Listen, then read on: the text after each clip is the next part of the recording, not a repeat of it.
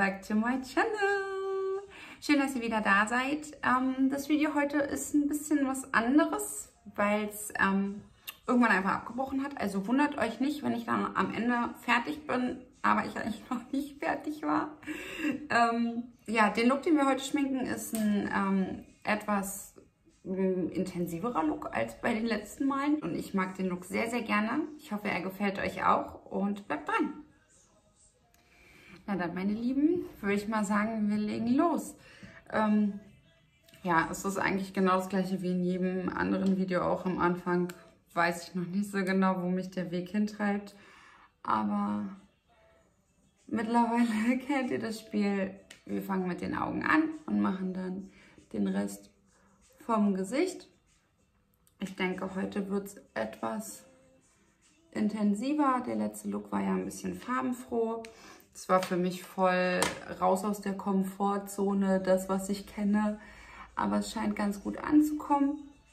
Ansonsten, ähm, ja, wie ich es in meinem letzten Video auch schon erwähnt habe, wenn ihr Wünsche habt, was ihr für Videos sehen wollt, gerne einfach unten in den Kommentaren da lassen oder bei Instagram schreiben. Ansonsten ähm, denke ich, werde ich heute wieder zurück in meine Komfortzone gehen und ähm, eher so mit Brauntönen arbeiten oder ja, ich lasse mich einfach inspirieren von meiner Palette. Ähm, und dann schauen wir mal, womit wir anfangen. Okay, dann schaue ich mal, womit ich beginnen werde.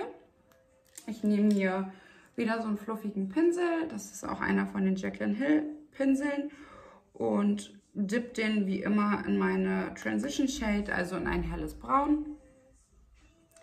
Ich glaube, ich werde es heute etwas mehr smoky machen. Also eher ein Smoky Eye Look mit ein bisschen dunkleren Farben. Und dann schauen wir mal, was draus wird. Das helle Braun verteile ich mehr oder weniger überall. Das ist ja unsere Grundierungsfarbe. Da müsst ihr auch nicht vorsichtig sein, das kennt ihr ja schon. Immer wenig Produkt nehmen und dann nach und nach aufbauen. So, als nächstes nehme ich mir einen anderen buschigen Pinsel.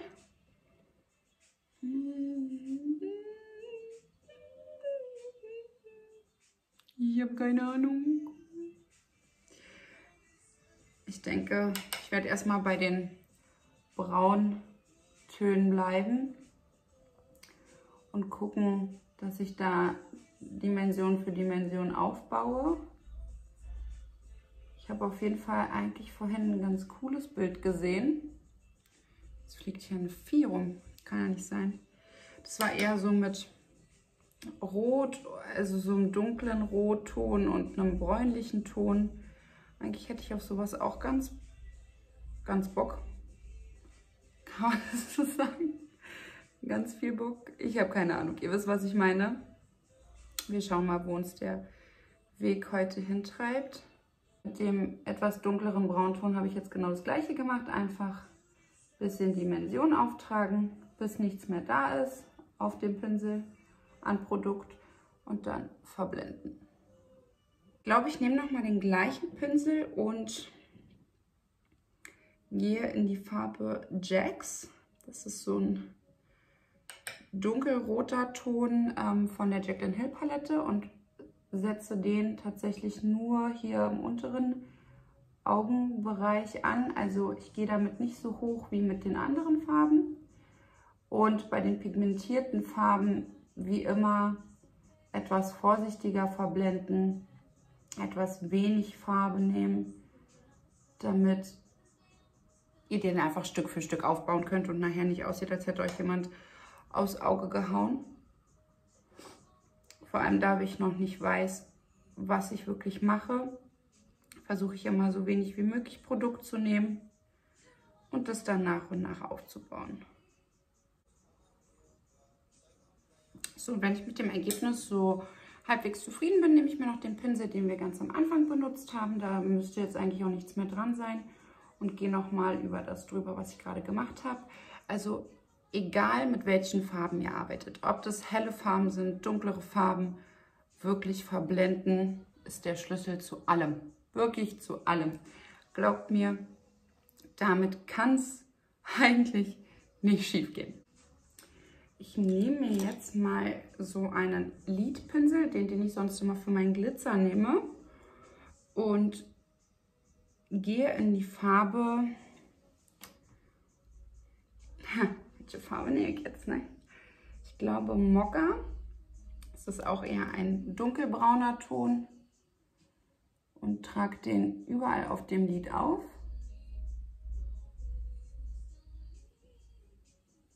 Keine Sorge, wir verblenden das noch.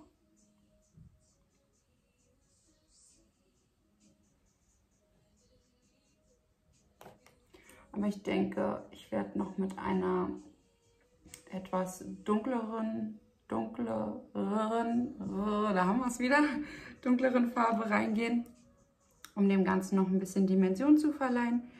Weil ich finde, Smoky Eye, egal ob man es jetzt mit dunkelbraunen Tönen macht, mit schwarz, mit grau, mit Farbe, keine Ahnung. Ich finde es einfach super schön so für Anlässe, wenn man feiern geht, wenn man irgendwas Eleganteres hat oder auch so für jeden Tag, also warum nicht. Ähm, finde ich persönlich einfach super schön. Auf jeden Fall tippe ich meinen Pinsel, ich wische den nicht, weil damit könnt ihr am meisten Produkt auftragen. Und wenn ich erstmal der Meinung bin, das sieht super aus, dann nehme ich mir nochmal meinen Pinsel, wo ich die Farbe Jacks drauf hatte, gehe aber nicht nochmal in die Farbe zurück und verblende das Braun in die Farben, die wir davor aufgetragen haben. Okay, ich denke, da können wir noch ein bisschen dunkler gehen. Ich hätte auch Bock auf Glitzer, aber ich würde gerne heute, glaube ich, nur einen matten Look machen. Ich nehme jetzt die Farbe Central Park. Das ist nochmal ein Ticken dunkler als das, was wir vorher hatten, wie man unschwer erkennen kann. Und hier mache ich genau das gleiche. Versuche so dunkel wie möglich unten am Wimpernrand zu sein und dann die Farbe nach oben hin so ein bisschen zu flicken, wenn ihr versteht, was ich meine damit man dann einfach keine allzu gerade Linie hat, auch wenn wir es nochmal verblenden. Aber schön vorsichtig, damit man nachher nicht aussieht als, weiß ich nicht, wie gewollt und nicht gekonnt. Ne? Und dann nehme ich mir wieder meinen Blending-Pinsel, bevor ich die andere Seite mache. Und verblende das erstmal. Letztendlich habe ich eh keine Chance. Wenn es scheiße aussieht, muss ich hier beide Seiten machen. Aber die Hoffnung stirbt zuletzt, ne? Ich möchte halt nicht, dass es irgendwie unordentlich aussieht oder ja, als würde ich es nicht können. Hm, ich glaube, ihr wisst, was ich meine. Ich bin gerade nochmal mit dem Pinsel in die Farbe Jacks rein und verblende den Übergang zwischen dem dunkelbraun und dem der Transition Shade, also das, was wir da drüber gemacht haben. Und das lasse ich jetzt erstmal so. Ich sehe hier tatsächlich auch nicht so gut, um zu sagen, ob das jetzt noch mehr verblendet werden muss oder nicht. Aber das wird schon. So, jetzt nehme ich mir mal einen etwas kleineren Pinsel, komplett ohne Farbe und gehe hier nochmal drüber, weil ich mit meinem Blending-Ergebnis noch nicht zu 100% zufrieden bin.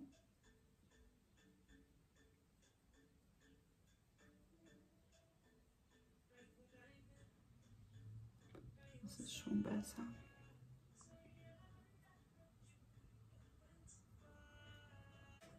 So, und das könnt ihr so lange machen, bis ihr der Meinung seid, es ist perfekt. Da ich, was das angeht, echt ein sehr extremer Perfektionist bin, gehe ich hier am besten fünfmal rüber, bis ich der Meinung bin, es ist genauso, wie ich es gerne hätte.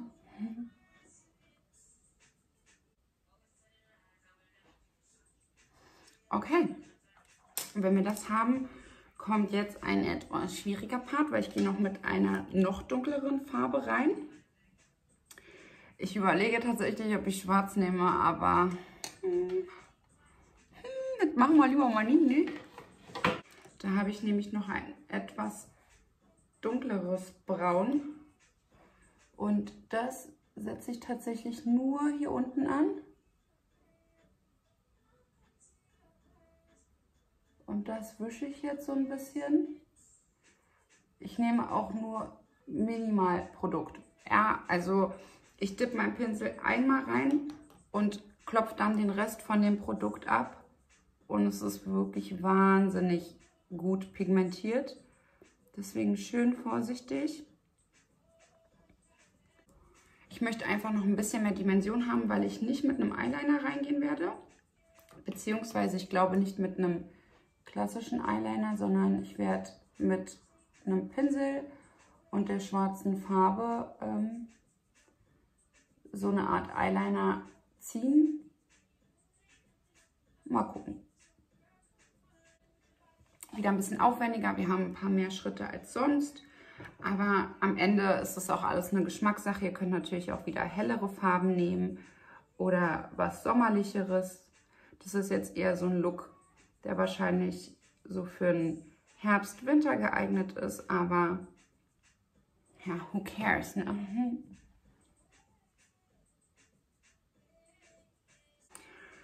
Und dann geht es wieder ins Verblenden.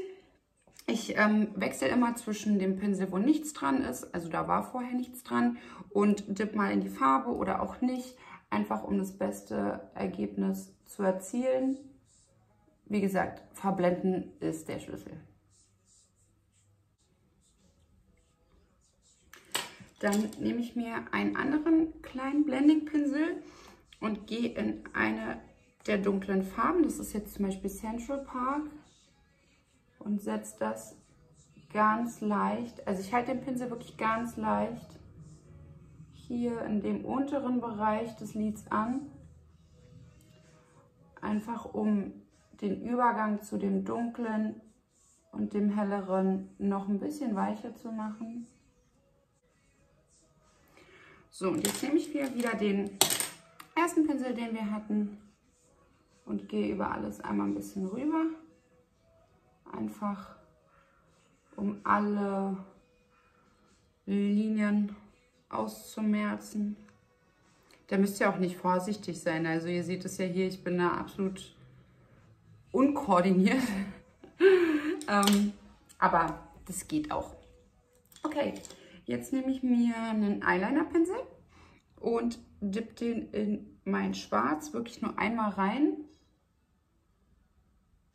und setze den hier so an und auch hier flicke ich den so ein bisschen nach oben. Ich hoffe, ihr könnt es gut erkennen. Um einfach ein bisschen mehr Dimension zu erreichen.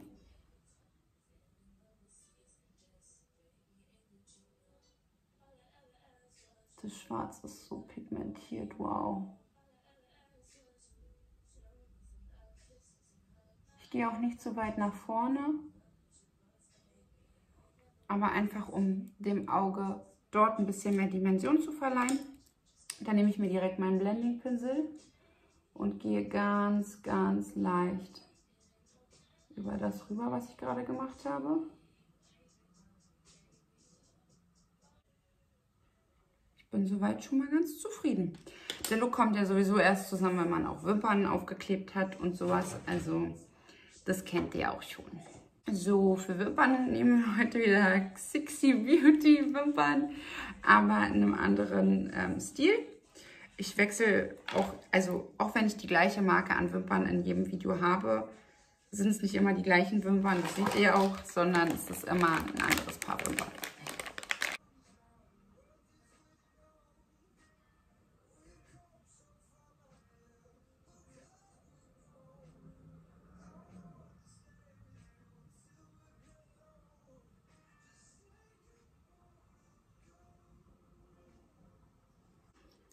So, und wenn wir Wimpern haben, nehme ich mir mal ein Ohrenstäbchen, mache das ein bisschen nass. Und gehe hier einmal vorsichtig drüber, um einfach den Fallout, also das, was runterkommt von dem Lidschatten, einmal sauber zu machen. Und was ich heute wieder mache, ich nehme wieder meine MAC Strobe Cream, diese Highlighter Creme. Auch wenn man es wahrscheinlich nicht sieht, aber ich sehe das. Ich finde das schön. Dann nehme ich mir wieder eine Fingerspitze. Einmal über das gesamte Gesicht wischen.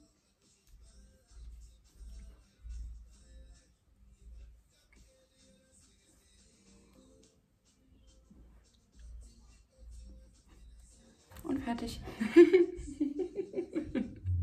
oh, ich bin witzig. Okay, bei Gesicht kennt ihr das Spiel auch bereits. Ich nehme mein Dior Make-up. Ich habe es immer noch nicht geschafft, mir anderes Make-up zu kaufen. Schande auf mein Haupt. Aber ja, was, was soll ich dazu noch sagen? Ich werde es irgendwann schaffen, auch anderes Make-up auszuprobieren und euch dann zu sagen, wie ich anderes Make-up finde. Aber so lange benutze ich für jedes Video mein Make-up. So, und dann Concealer. Da lasse ich den hellen heute mal weg. Und mache auch nicht zu viel. Auch hier und heute gehe ich wieder vorne ein bisschen vorsichtiger ran. Gehe später lieber nochmal mit meinem Concealer-Pinsel drüber, um das alles auszugleichen, bevor ich mir da mein Produkt wegwische. So,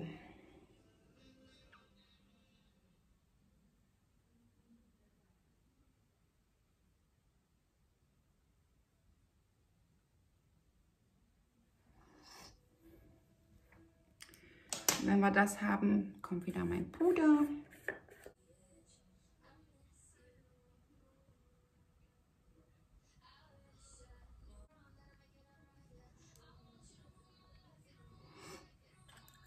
Okay.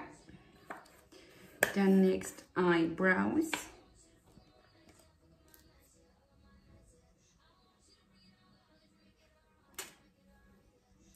Ich finde irgendwie meine Haare sehen ganz komisch aus.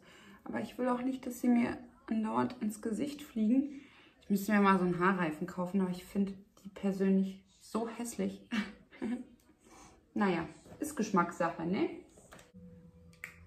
Sehe bei diesem Licht tatsächlich bei der Augenbraue nie wirklich, was ich mache.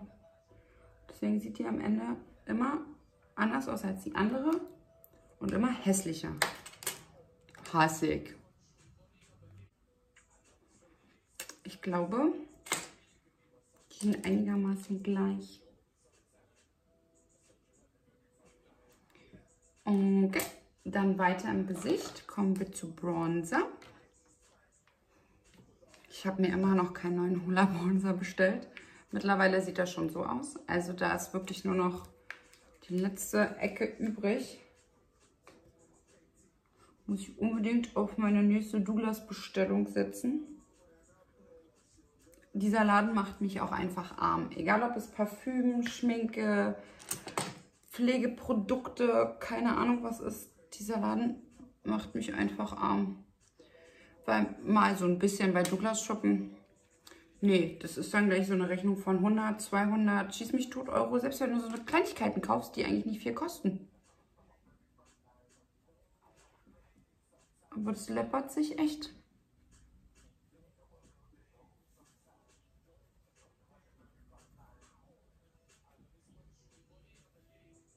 Ja, hier komische Frisur wieder ordentlich.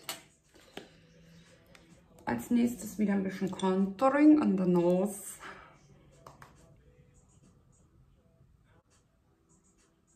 Ich glaube, da sollte ich mir echt mal so ein Video von irgendjemandem angucken, der es richtig drauf hat, weil ich mache es ja jetzt so, wie ich das halt denke, ne? Ob das so wirklich ist oder nicht, das ist mir ja wurscht, aber Vielleicht sollte ich mir da mal was angucken, wie man das richtig macht. Weil ich bringe mir auch alles selber bei. Das Einzige, was ich nur wichtig finde beim Nose Contouring, ist, dass man nicht zu doll macht. Dass es halt nicht künstlich aussieht. Aber ich finde, so ein bisschen kann man schon mal machen. Dann nehmen wir jetzt Blush. Auch da wieder das gleiche wie immer.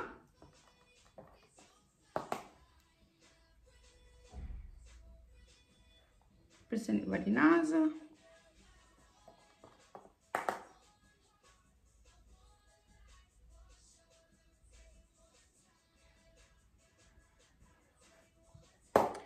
So, und wenn wir das haben, gehen wir zum unteren Auge über.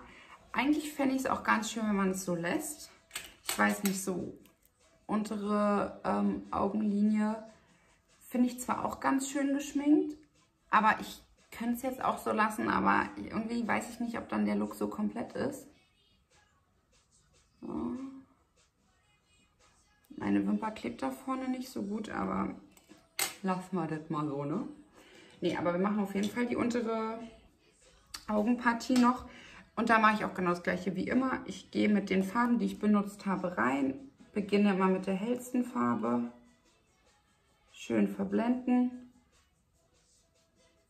Und dann Stück für Stück aufbauen. Und bei den dunkleren Farben versuche ich immer außen die, das meiste Pigment anzusetzen, damit es vorne zwar auch dunkler wird, aber nicht allzu dunkel, so wie hier hinten. Und dann verbinde ich das schön. Also den Bereich zwischen, was wir oben gemacht haben und unten gemacht haben, verbinde ich am Ende immer noch ein bisschen. Ich finde, es sieht dann super schön und smoky aus. Ja, meine Lieben, ich bin jetzt schon fertig, wie ihr sehen könnt. Ähm, mein Video hat einfach abgebrochen ich habe es nicht gemerkt. Aber ich werde den Look nicht nochmal filmen. Ähm, wir sind da stehen geblieben, wo ich meine unteren Augen geschminkt habe. Ähm, um es euch mal Stück für Stück zu erklären, da mache ich genau das gleiche wie immer. Ich baue die Farben, die ich oben auf dem Lid benutze, nach und nach auf.